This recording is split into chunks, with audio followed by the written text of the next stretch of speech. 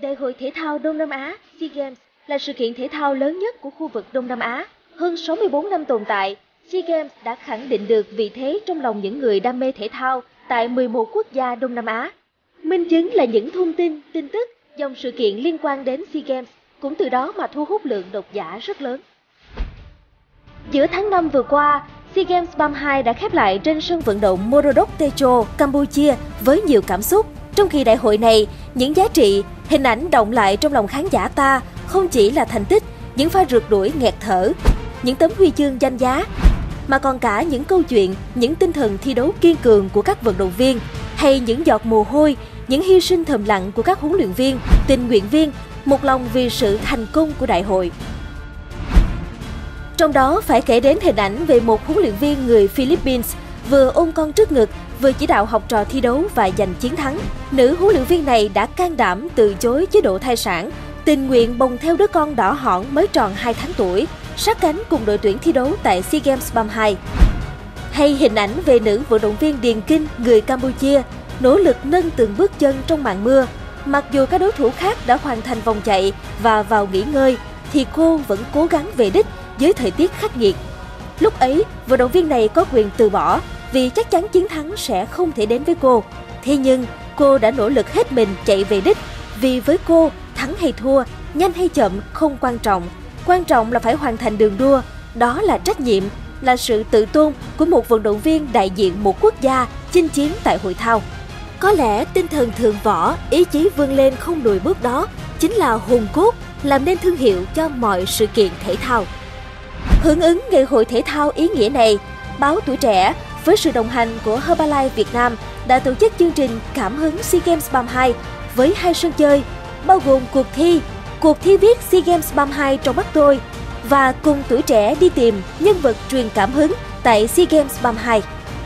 Chỉ trong vòng chưa đến 20 ngày phát động, ban tổ chức cuộc thi viết SEA Games 32 trong mắt tôi đã nhận được hơn 1.000 bài dự thi của độc giả trong và ngoài nước gửi về. Trong đó có rất nhiều các câu chuyện của chính bạn đọc chia sẻ những cảm xúc khi theo dõi các vận động viên trong nước và trong khu vực ASEAN thi đấu. Đó. Mà không chỉ là các vận động viên mà là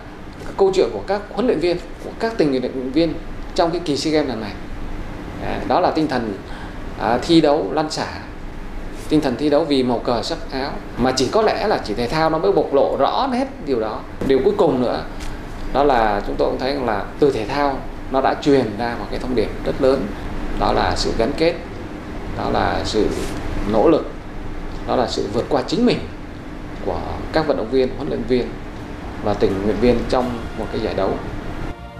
Trong 1.000 bài dự thi, ban giám khảo, ban tổ chức đã rất khó khăn để chọn ra 5 bài viết xuất sắc nhất. Có thể đây là những bài viết chưa thực sự chỉnh chu về câu từ, nhưng chúng đã truyền tải được cảm xúc, lan tỏa những câu chuyện hay những góc nhìn mới mẻ về SEA Games 32 cũng như thu hút được lượng tương tác quan tâm rất nhiều của độc giả báo tuổi trẻ.